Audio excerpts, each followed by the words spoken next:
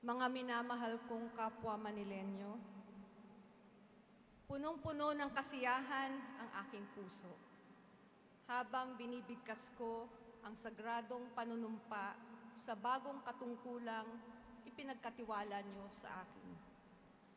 Dito mismo sa loob ng katedral, ninais kong gawin ito upang sa Panginoon tayo unang-unang magpuri at magpasalamat dahil lahat ng ito ay bunga ng kanyang perpektong plano.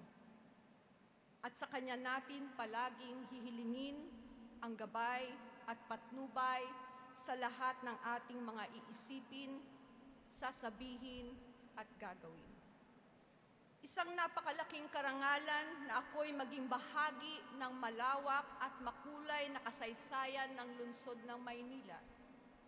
Makalipas ng apat na raan at limamput isang taon, ngayon lamang sa kauna-unahang pagkakataon, nagkaroon ng babaeng punong lunsod sa Maynila. Maraming, maraming, maraming salamat sa inyong lahat. Kasabay sa karangalang ito ay napakalaking hamon na pamunuan at paglingkuran ang anim na distrito, walong daan siyam na barangay na may halos dalawang milyong mamamayan ng Maynila. Sa pagtupad ko sa aking katungkulan, dala ko ang tatlong dekada kong karanasan sa serbisyo publiko. Simula sa pagiging doktor sa pampublikong pagamutan, konsihal, direktor ng Department of Social Welfare, hanggang sa pagiging vice mayor. Masasabi kong dahil sa tulong at suporta ng lahat ng aking mga nakasama sa paghatid ng mga serbisyo at binipisyo diretso sa tao. Maraming salamat sa lahat ng aking mga naging katuwang sa Manila Health Department, Ospital ng Maynila, Ospital ng Tondo, Sangguniang Panlunsod, sa mga kawani ng Manila Department of Social Welfare at sa lahat ng bumubuo sa pamalan lunsod ng Maynila. Tunay nga na ang buhay ay serya ng karanasan. Bawat takbo ay nagiiwan ng mahalagang aral. Mga aral na kung minsan ay hindi natin agad nauunawaan. Ngunit sa paglipas ng panahon, nagkakaroon din ng kalinawan at tila nagsasabing napagsikapan naman pala nating malampasan at mapagdunggumpayan ang mga dinaanan nating pagsubok. Ang lahat ng ito, tagumpay man o kabiguan, ay nagtulak sa atin upang magpatuloy sa pagsulong. Sabi nga ng Greek philosopher na si Plato, there are many arts among men, the knowledge of which is acquired bit by bit by experience. For it is experience that caused our life to move forward by the skill we acquire, while want to experience subjects us to effects of chance. Maraming salamat sa mga karanasang nagpalalim sa aking kamalayan, nagpalawak sa aking kaalaman, nagpatibay sa aking kasanayan at nagpatatag sa aking buong pagkatao. Sa pagpasok ko sa mundo ng politika noong 2004, para bang lagi tayong sinusundan ng kapalaran. Mga di inaasahang pangyayari ngunit tila sadyang itinakda ng tadhana. Ang pangunahing nagsilbing lakas at inspirasyon ko upang magpatuloy ay ang mga papuri ng mga tao tungkol sa aking ama na si dating Vice Alcalde Danilo B. Lacuna. Sabi nga, ang naghahasik daw ng kakaunti ay mag-aani rin ng kakaunti. At ang naghahasik ng sagana ay mag-aani rin ng sagana. Daddy, asan ka?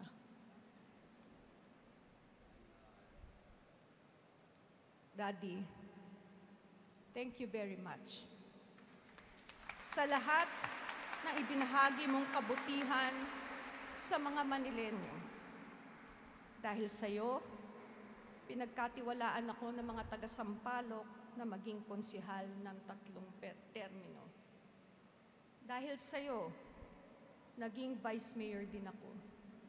At higit sa lahat, dahil sa iyo, ako ay nagsikap na matuldukan na ang matagal na kasabihan na ang mga lakuna ay pang vice mayor lang. Sana, kahit man lang sa isang saglit, kahit ngayong araw lang, ay maging malinaw sa iyong isip na mayroon ka ng anak na mayor. Maraming maraming salamat sa Panginoon sa pagkakataong ito. Nakasama ko pa po ang tatay ko at nasaksihan pa niya ang katuparan ng matagal na niyang pinapangarap. Daddy, higit sa lahat, ito ay para sa iyo.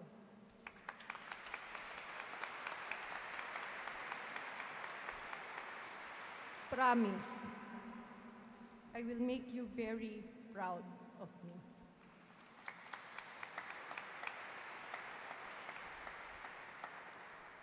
Mami Day,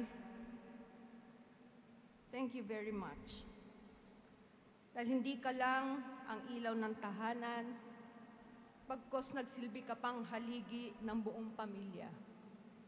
Lalong-lalo na nitong mga nakaraang taon, sa kabila ng sobrang pag-aalaga mo kay Daddy na umuubos na ng iyong panahon, nagagawa mo pa rin paglaanan kami ng oras sa lahat-lahat ng aming mga pangangailangan. Sa aking mga kapatid, Lay, Dennis, Lisa at Philip, at sa kani-kanilang mga pamilya. Maraming maraming salamat dahil ni minsan ay hindi niyo ako pinabayaan.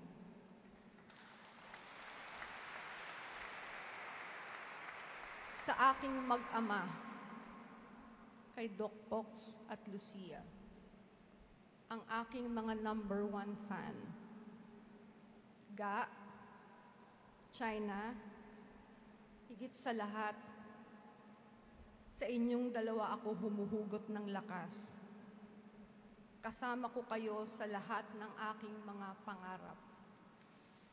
Thank you very much. Sana patuloy ninyo akong bigyan ng pangunawa, pasensya, sakripisyo, at pagmamahal. I love you very, very much. Ang nagdaang tatlong taon ay nagbigay sa akin ng higit na inspirasyon upang lalong magpursigi at magpunyagi sa paghahatid ng mga makabuluhang programa at proyekto sa ating mga kababayan. Lalong nagpatingkad sa uri ng ating pagsiservisyo sa bayan ang ipinakitang galing, dedikasyon at malasakit sa kapwa na ipakita niya sa ating lahat ang kanyang magagandang pangarap para sa bawat isang batang Maynila. Ipinadama niya sa akin ang kanyang pagtitiwala. Itunuring niya akong isang partner, ate, katuwang sa lahat ng mga gawaing bayan. Ni minsan ay hindi ako nakaramdam na ako ay isang spare tire lamang hinayaan niyo akong magningning sa aking pagiging isang doktor, lalo na nitong panahon ng pandemya. Nahihanda niya akong mabuti upang may pagpatuloy ang pagsasakatuparan ng lahat ng aming nailatag na ng mga programa sa minamahal nating lungsod.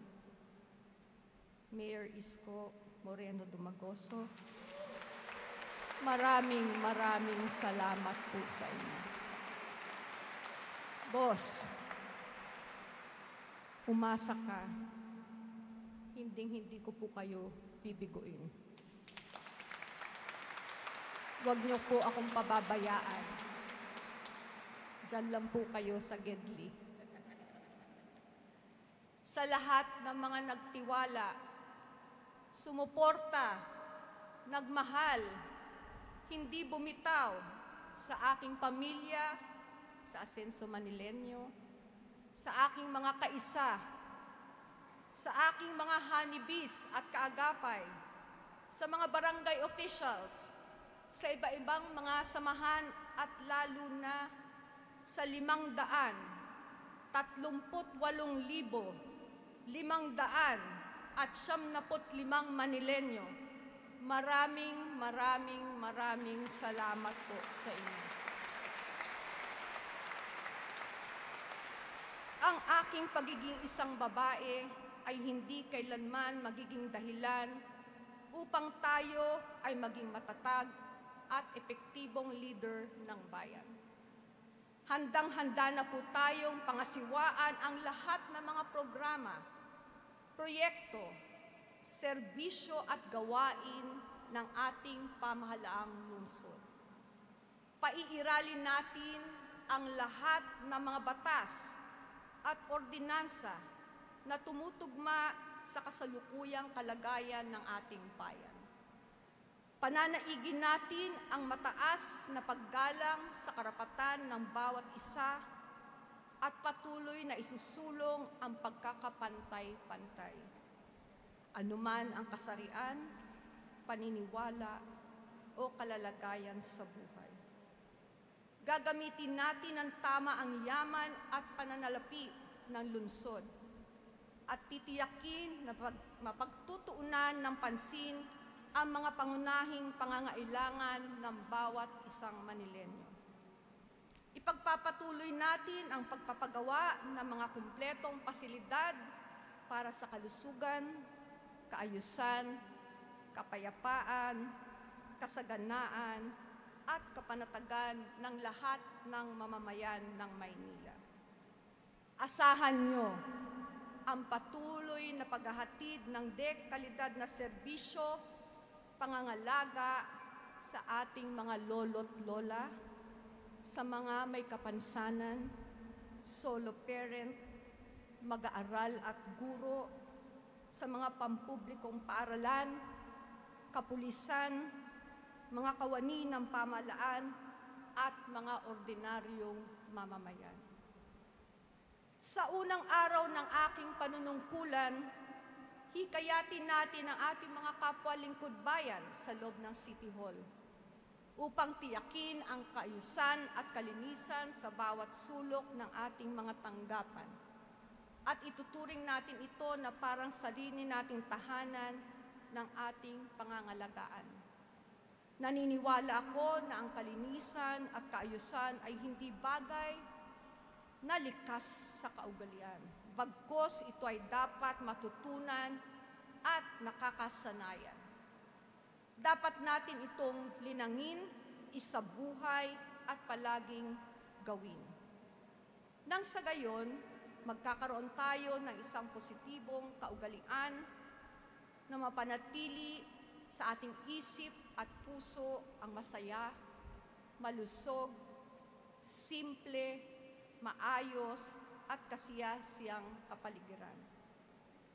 Sabi nga sa isang aklat na may pamagat, Dream big, see your bigger picture ni Israel Moore Aivor. Be inspired, raising the bar of excellence in your life every day act better than before, grow higher than usual, think faster than normal. Ito ang magsisilbing panuntunan natin sa susunod na tatlong taon. Sisikapin nating patuloy na itaas sa antas ng panunungkulan, ibibigay natin ang mataas na uri ng paglilingkod at lalo pa nating pagbubutihin na maging masinop, epektibo, at epesyente sa mabilis na paggogobyerno. At kayong lahat ang magsisilbing inspirasyon ko sa bawat araw. Ang tanging hiling ko lang ay ang inyong buong pusong pakikiisa, pakikipagtulungan at kooperasyon. Nasa akin man ang katungkulan, pero nasa inyo ang higit na kapangyarihan.